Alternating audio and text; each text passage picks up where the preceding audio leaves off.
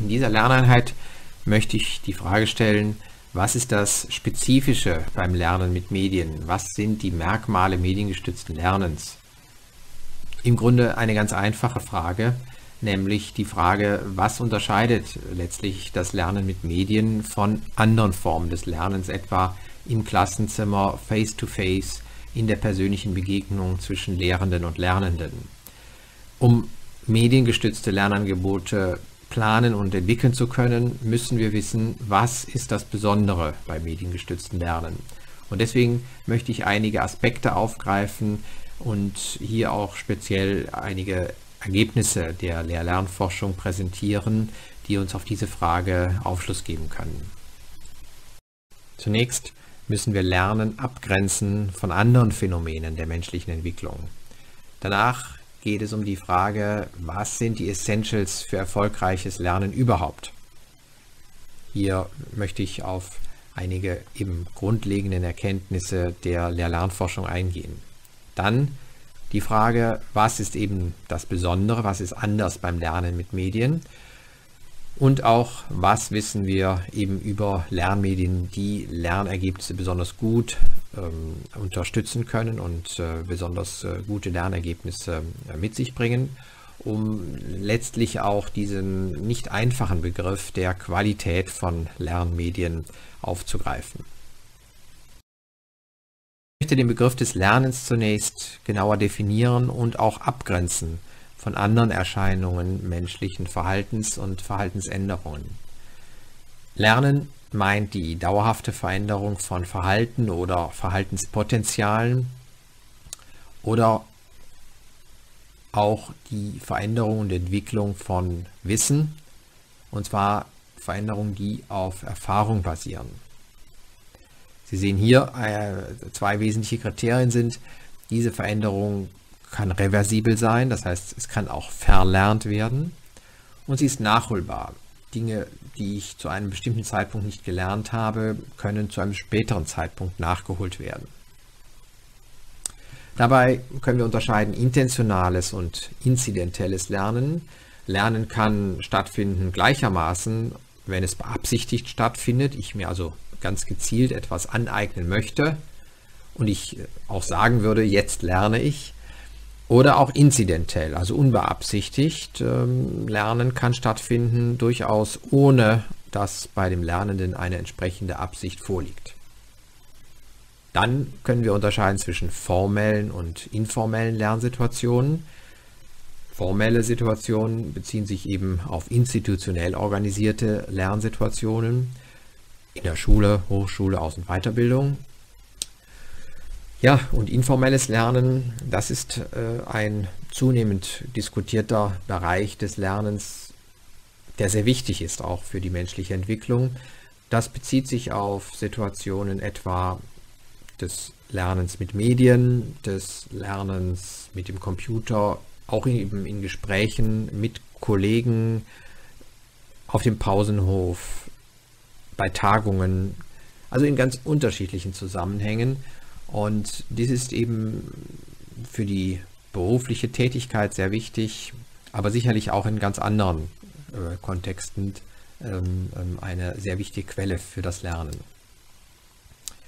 Ja, dann müssen wir unterscheiden die Reifung von eben dem Lernen.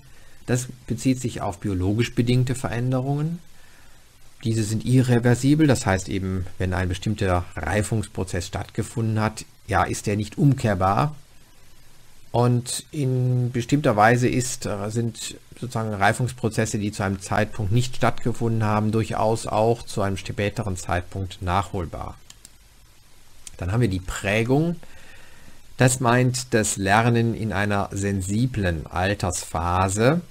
Ähm, also Sie sehen hier, das ist so ein typisches Beispiel dafür, wie eben hier die äh, Küken sich prägen äh, auf ihre äh, Mutter. Ähm, sie lernen zu einem ganz, ganz engen Zeitfenster äh, in ihrer Entwicklung eben, wer die Mutter ist und folgen dieser Mutter dann eben, wie wir äh, auch ja manchmal beobachten können, eben auf Schritt und Tritt. Und das passiert eben in einer ganz bestimmten Altersphase, in einer sensiblen Phase. Dies ist, wie hier steht, irreversibel, also nicht umkehrbar und eben interessanterweise auch eben äh, nicht nachholbar. Und äh, solche sensiblen Altersphasen kennen wir auch in der menschlichen Entwicklung und äh, ja, ist etwa von Maria Montessori auch in ihrer Pädagogik ganz gezielt thematisiert worden. Dann gibt es den Begriff der Entwicklung. Das bezieht sich auf altersbedingte lange, langfristige Veränderungen. Also eben Veränderungen in verschiedenen Fertigkeits- und Fähigkeitsbereichen, äh, wie etwa die Sprache, Gedächtnis, Wahrnehmung, die sich natürlich eben halt entlang ähm, der äh, Lebenszeit äh, verändert. Und äh, das sind eben biologische Veränderungen auch mit äh, dabei, das sind Erfahrungen, das sind Lernprozesse, aber wie Sie sehen, eben bezieht sich der Begriff der Entwicklung eben auf äh, längerfristige Veränderungen von Dispositionen und zwar eben halt unter der Zeitachse, dem Alter, dem Lebensverlauf.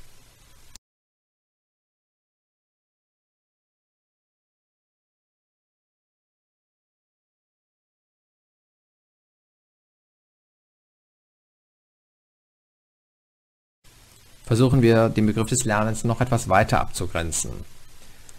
Qualifikation, das meint die Voraussetzung, die eine Person mitbringt, um eine bestimmte Tätigkeit ausfüllen zu können. Also das bezieht sich eben halt auf ja, erworbene Fähigkeiten, Fertigkeiten, auf Verhalten, Wissen, Einstellungen, alles das, was die Person mit sich mitbringt, um eben halt eine spezifische Tätigkeit, einen Beruf, eine Arbeit ausfüllen zu können. Kompetenz, das ist ein Begriff, der in den letzten Jahren in der pädagogischen Diskussion zunehmend an Bedeutung gewonnen hat, weil er sich eben auf sehr viel komplexere Sachverhalte bezieht er meint etwa in der Definition von Erpenbeck und von Rosenstiel die, Rosenstiel die Disposition für selbstständiges Handeln, für selbst organisiertes Handeln. Und sie fassen darunter vier Teilkompetenzen, die personale Kompetenz, also ja, mit sich selbst umgehen zu können, sich selbst organisieren zu können, Ziele setzen zu können, prüfen zu können, ähm, sich selbst motivieren zu können, auch eben äh, sein Handeln eben selbstkritisch zu reflektieren. Handlungskompetenz meint eben die Fähigkeit, ähm, ja, komplexe eben ähm, Ziele äh, zu verfolgen zu können Fachlich-methodische Kompetenz äh, bezieht sich eben auf, auch wieder auf bestimmte Anforderungen äh, zu bestimmten Themen ähm, und äh, die dazugehörenden auch methodischen Voraussetzungen. Und sozialkommunikative Kompetenz meint den Umgang mit anderen Menschen. Zu trennen von der Kompetenz, was nämlich eben halt als Disposition zu sehen ist, ist die Performance. Das bezieht sich auf die gezeigte Leistung, auf die beobachtbare Leistung und es kann durchaus die Situation eintreten, dass eine Person kompetent ist, aber nicht unbedingt die äh, erwartete Performance zeigt. Letztlich geht es also ja in vielen auch beruflichen Kontexten eben nicht immer unbedingt nur um die Kompetenz und den Kompetenzerwerb, sondern es ist auch wichtig zu fragen, unter welchen Bedingungen findet denn Performance statt. Ja, wird Verhalten auch tatsächlich gezeigt. Das sind, wie man aus der psychologischen Forschung sehr gut weiß, doch zwei sehr unterschiedliche Dinge.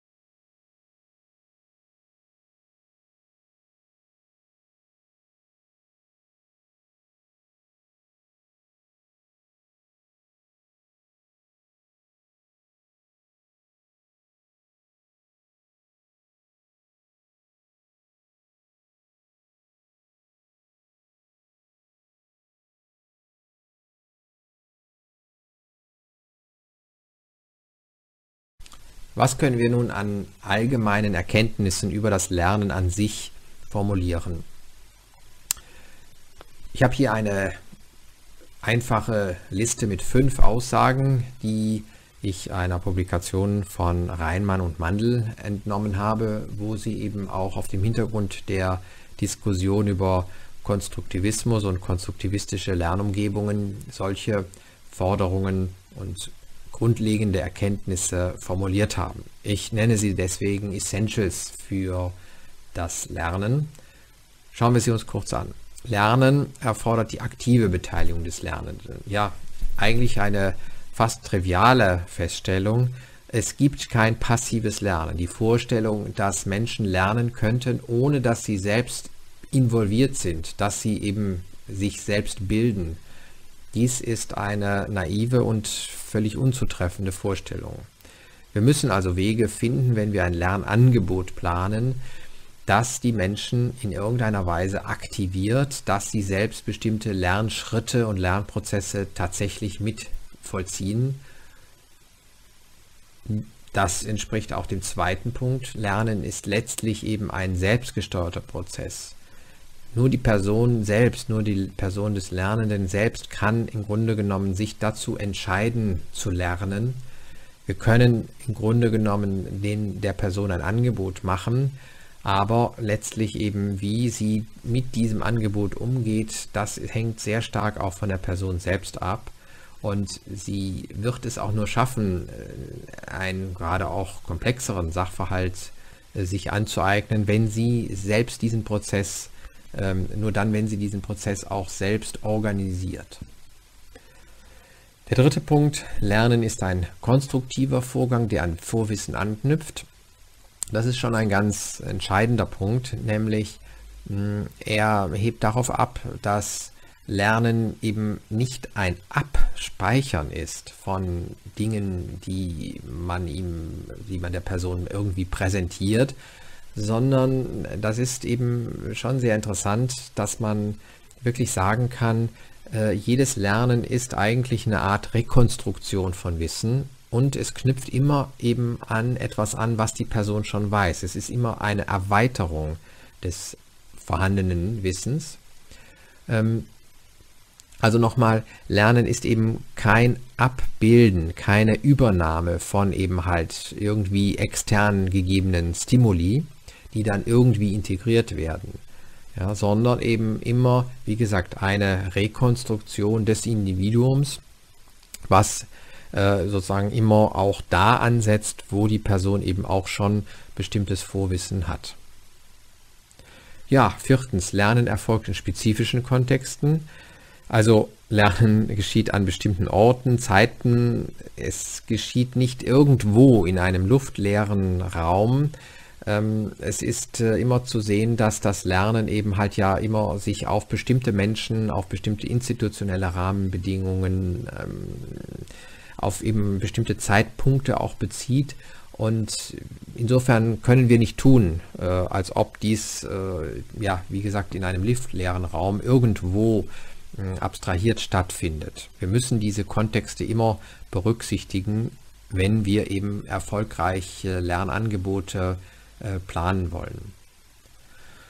Und schließlich Lernen müssen wir sehen als einen sozialen Kommunikationsprozess. Es ist ein Austauschprozess, der ja von Mensch zu Mensch gehen kann, aber auch beim mediengestützten Lernen können wir eben diesen Kommunikationsprozess nachvollziehen.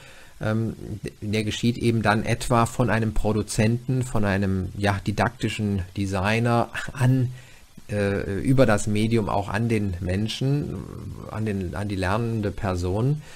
Und darüber vermittelt sich eben durchaus auch Kultur. Also es geschieht etwas, ähm, es geschieht eine eben Kommunikation zwischen letztlich Menschen. Die Teilhabe an Kultur ist darüber möglich. Es geschieht auch Sozialisation darüber, Einstellungsbildung.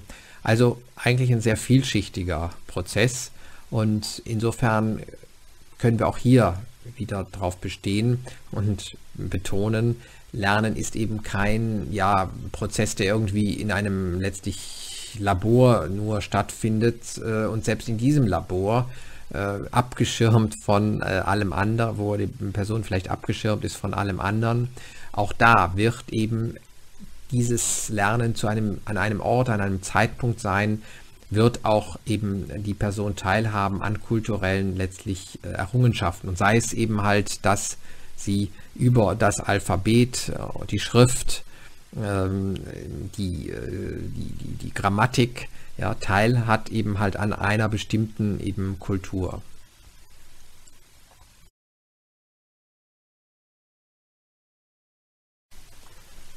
Ja, kommen wir nun zu dem zentralen Problem, vor dem wir als Entwickler und Planer von Lernangeboten oft stehen. Und äh, deswegen möchte ich hier auch dieses Problem einfach nochmal genauer eruieren und äh, Sie bitten, einfach mal mitzudenken und zu überlegen, wie die Antwort auf diese Fragen aussehen kann. Also, wenn Sie Lernangebote entwickeln, dann stehen wir, stehen Sie vor der Frage, was macht ein gutes Lernmedium aus?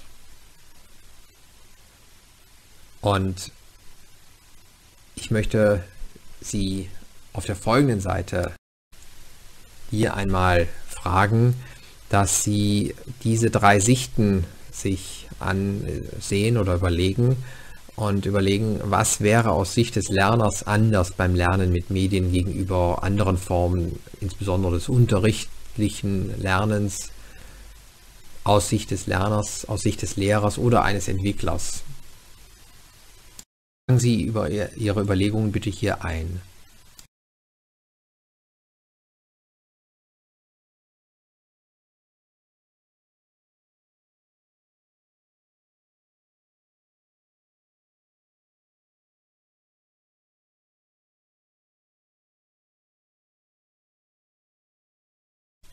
Gehen wir die einzelnen Sichten einmal durch und fangen wir mit der Sicht des Lerners an.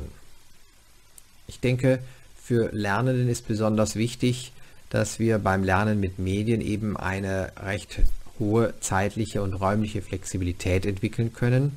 Ich entscheide, wann, wo und auch wie schnell ich etwa lerne. Das geschieht schon mit einem Buch, ja, das kann ich äh, mitnehmen irgendwohin, das kann ich äh, lesen, wann ich will, bearbeiten, wann ich will und auch eben halt im Tempo so schnell durchackern, wie es mir gerade passt. Das Wissen ist dokumentiert, also das ist ein großer Vorteil, dass ich eben jederzeit nachsehen kann, was ich lernen soll, was ich lernen möchte. Ich kann auch den Stand des Lernens selber leichter prüfen. Ich kann feststellen, ich bin zur Hälfte durch, ich, ich habe so und so viel Prozent schon geschafft. Hm, das Wissen ist eben sozusagen positiv dokumentiert und sichtbar. Für den Lerner ist sicherlich die Frage im Raum, ja, wie kann mir, wo kann ich Hilfe bekommen bei Unklarheiten oder auch wie stehe ich da, hm, wenn ich nicht weiterkomme oder bin ich da ganz alleine auf mich gestellt? Das sind Fragen, die sich für den Lerner stellen, wenn er mit eben einem Medium ähm, gezielt etwas lernen möchte. Also ja, es gibt Pro und Contra, es gibt Vor- und Nachteile für den Lerner.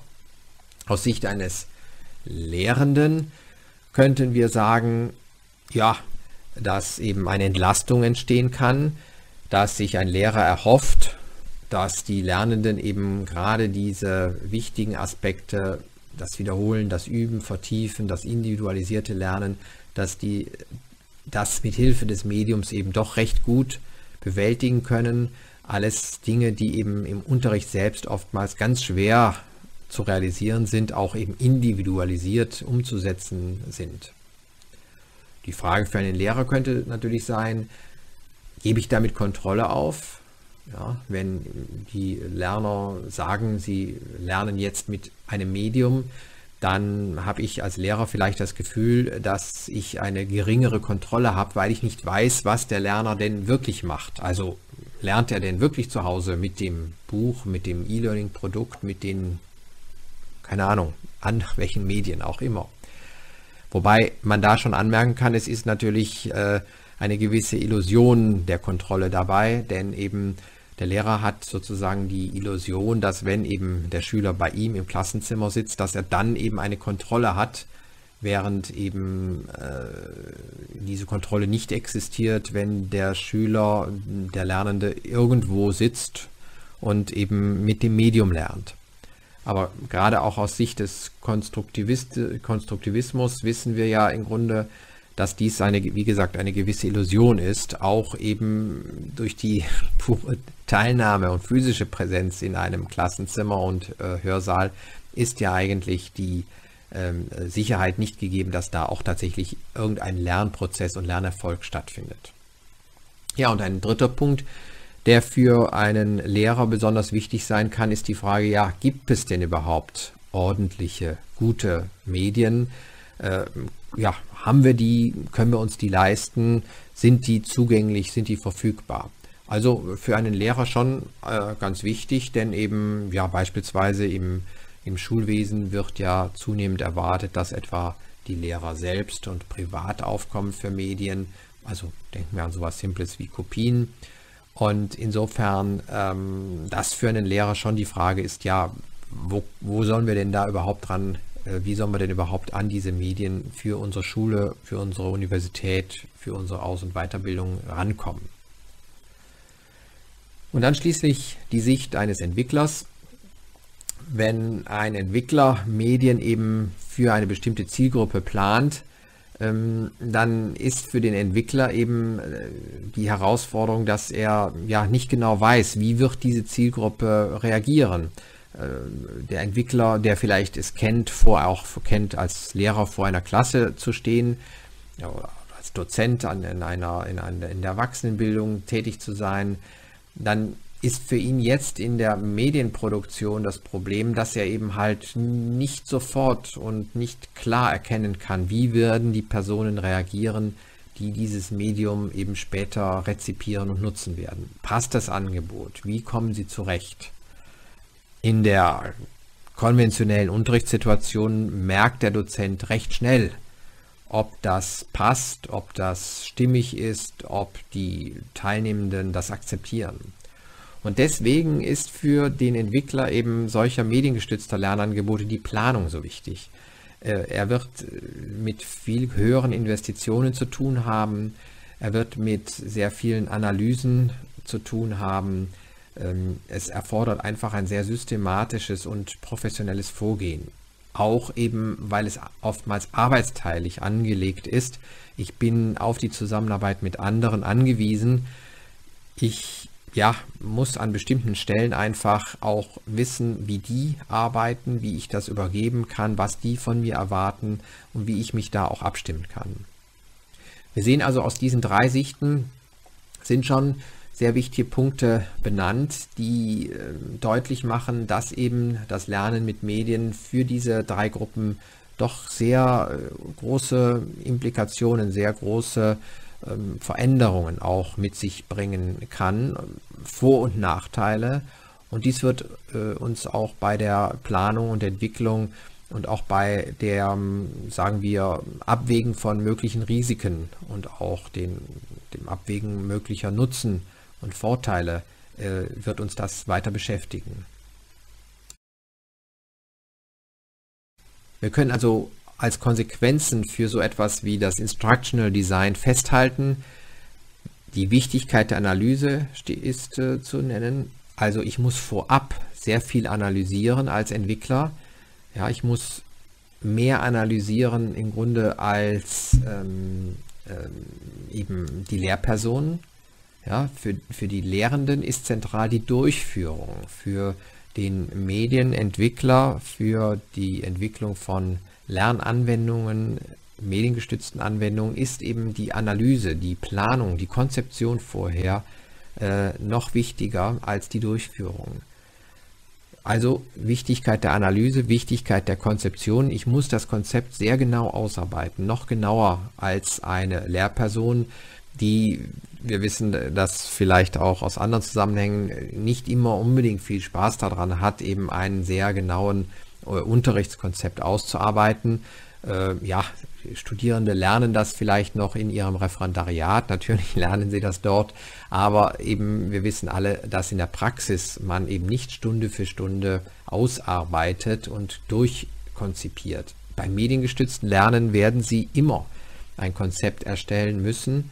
Äh, sie werden immer eine genaue Planung und Analyse äh, durchführen müssen, ähm, eben auch weil Sie ja mit anderen zusammenarbeiten und es kommunizieren müssen, was Sie an bestimmten Stellen brauchen, wie es funktionieren soll, wie es aussehen soll, etc. Und deswegen muss alles so genau ausgearbeitet sein. Und schließlich auch die Evaluation. Ich muss jeden Entwicklungsschritt prüfen, Einfach deswegen, weil eben ich ja nicht mehr im Nachhinein etwas verändern kann. Ja, die Lehrperson kann ja in der Situation ad hoc entscheiden, oh, dieses Thema ist doch zu schwierig, oh, diese Aufgaben, die sind noch zu leicht, äh, hier muss ich so reagieren, hier muss ich schneller machen, langsamer machen. Das kann die Person in der Situation situativ entscheiden. Der Entwickler, der Medienkonzeptionist kann dies nicht. Er muss vorher wissen, kommen die Lernenden damit zurecht, wo gibt es Fallstricke, was muss ich anpassen. Und äh, das kann man nur eben durch formative Evaluation, durch begleitende Studien, Usability-Studien im Labor, im Feld mit kleinen oder größeren Stichproben aus der Zielgruppe. Ähm, das macht die Sache mühsam, aber im Grunde äh, durchaus auch ähm, erfolgreich denn es ist durchaus äh, kostengünstiger, vorab diese Prüfschritte zu machen, als eben später, wenn man ein fertiges Produkt hat, ein fertiges Angebot hat, später eben entsprechende Anpassungen vornehmen zu müssen. Damit kommen wir schon zu einer ganz entscheidenden Frage des, der Vorteile des mediengestützten Lernens beziehungsweise eben des multimedialen Lernens. Wenn wir heute Angebote entwickeln für das Internet, für Lernprogramme, die auf äh, CD oder DVD distribuiert werden, dann haben wir es ja eben in der Regel mit multimedialen Anwendungen zu tun. Anwendungen, die neben Text ja oft auch Ton, Bild, Video, Animationen, was auch immer äh, zusätzlich integrieren. Und da ist natürlich die Frage, welchen Nutzen, welchen Mehrwert, welche zusätzliche Qualität bieten solche eben multimedialen Anwendungen. Und Sie sehen schon hier das Schlagwort desto mehr, desto besser, Fragezeichen. Wir müssen hier zunächst eine wichtige Unterscheidung treffen. Wir müssen unterscheiden zum einen, wie ist eine Information kodiert, also die Art der Kodierung. Das kann zum Beispiel der Text sein. Eine Information kann als Bild präsentiert oder repräsentiert sein. Es gibt aber eben auch Musik, Tanz als Kodierungen als menschlichen Ausdruck, wie Informationen und ähm, ähm, Nachrichten äh, formuliert werden können. Die zweite Frage ist, welcher Sinneskanal wird angesprochen mit einer Information? Hier unterscheiden wir Modalitäten, Sinnesmodalitäten, also die auditive ähm, Modalität, die eben den Gehörsinn anspricht, visuelle äh, Modalität oder haptisch, das wäre eben halt das der Tastsinn. Und die dritte äh, Unterscheidung betrifft die Frage, welche technische Darbietungsmedien werden genutzt. Also das könnte eben der Bildschirm sein, das kann ein Lautsprecher sein, eine, ähm, eine, eine, eine Konsole über den Fernseher. Ähm, also sehr unterschiedliche eben Darbietungsmedien. Und nun ist die Frage eben, ja, was ist nun vorteilhaft? Also ist es äh, besonders äh, toll, eben etwas über mit ähm, ähm, Bild und Ton, mit Text und Audio, äh, über Bildschirm und äh, ich weiß nicht, in welchen Kombinationen eben äh, etwas präsentiert wird.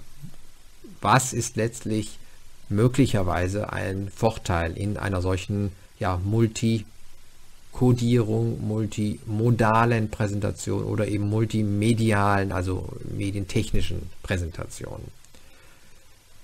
Ja, und die äh, Antwort auf diese in dem Fall scheinbar sehr komplexen äh, Fragen ist überraschend einfach, nämlich wir wissen tatsächlich doch äh, recht viel über diese ähm, multi äh, über diese ähm, Vorteile dieser Varianten. Und wir können relativ eindeutig äh, sagen, dass ein Vorteil eben besteht aus, äh, wenn eben äh, Informationen multiple kodiert sind, aber dass eigentlich kein Vorteil besteht, wenn mehrere Sinneskanäle angesprochen werden. Äh, und auch nicht, wenn eben Multimedia-Technik im engeren Sinne genutzt wird.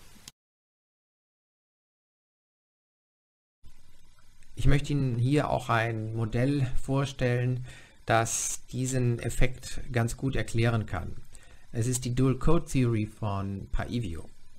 Sie geht davon aus, dass im menschlichen Arbeitsgedächtnis, im menschlichen Arbeitsspeicher äh, zwei getrennte Subsysteme arbeiten. Ein Subsystem, was eine bildhafte Verarbeitung realisiert und ein Subsystem, ein zweites, was die ja, Codierung die textuelle Codierung von Nachrichten verarbeiten kann.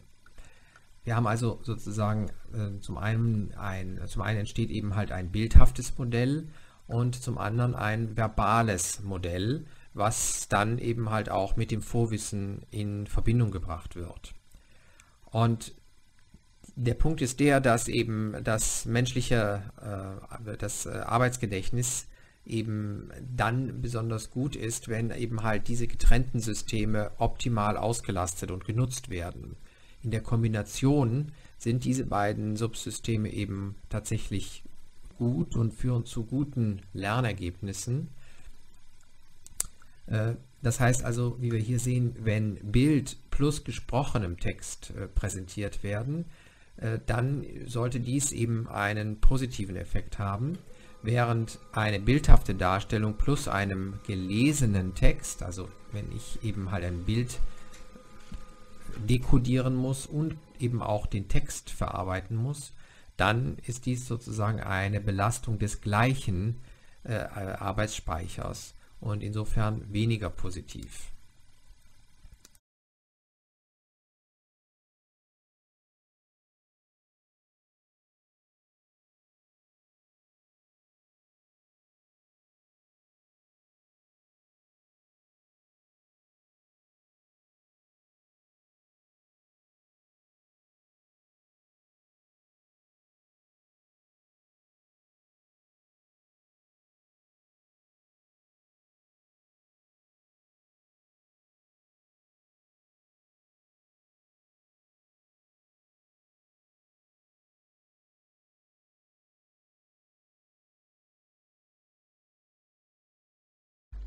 Grundlage dieser Überlegungen ist die Dual Code Theory von Paivio.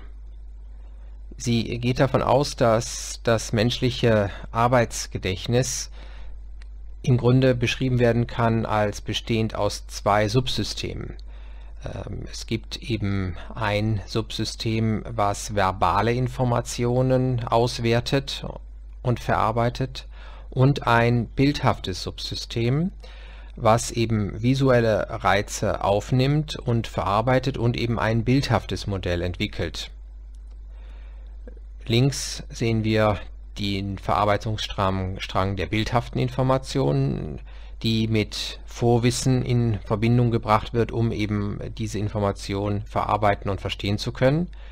Und rechts sehen wir wie Worte, wie textuelle Information eben in ein verbales Modell gebracht wird. Auch hier ist natürlich wieder Vorwissen notwendig, damit diese Information überhaupt verarbeitet und verstanden werden kann.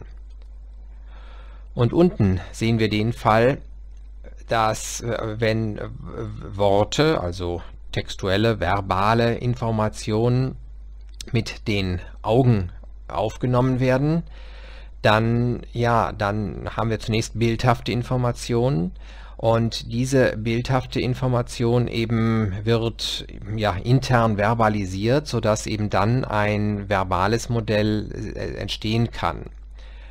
Wir können anhand dieser Grafik auch nachvollziehen, warum im Grunde es kein Vorteil ist, wenn äh, Text gelesen wird und zugleich diese textuelle Information vorgelesen wird. Dann wird nämlich eben das äh, Arbeitsgedächtnis eben äh, in gleicher Weise äh, ähm, belastet ähm, in beiden Subsystemen, das visuelle genauso wie eben das äh, äh, verbale Gedächtnis. Und mh, wir sehen hieraus eben auch, dass wenn es einen Vorteil gibt, dann besteht er eben aus der Kombination unterschiedlicher Codierungen, etwa der bildhaften und der textuellen Codierung. Die Kombination dieser beiden Subsysteme kann zu einem Vorteil führen bei der Verarbeitung und beim Lernen von Informationen. In diesem Zusammenhang möchte ich Sie auf zwei Literaturstellen verweisen, die bei dem Internet zumindest in Teilen verfügbar sind. Wir haben hier zunächst einen Text von Bransford und anderen, How People Learn, eine, wie ich finde, sehr schöne Darstellung von aktuellen Erkenntnissen zur Lernpsychologie, auch eben unter einigen, unter ähm, Berücksichtigung von einigen neuropsychologischen Überlegungen. Und dann haben wir hier den Text von Clark und Meyer. Zwei ja, wirklich recht ausgewiesene und prominente ähm, Autoren, Autorinnen zum Thema E-Learning unter lernpsychologischen Aspekten. Ähm, eine Kurzfassung davon finden Sie übrigens hier auch direkt im Anhang. Also recht lesenswert und ich denke auch gerade die Kurzfassung sehr schön geschrieben, aber auch das umfangreichere Werk kann ich Ihnen sehr ans Herz legen.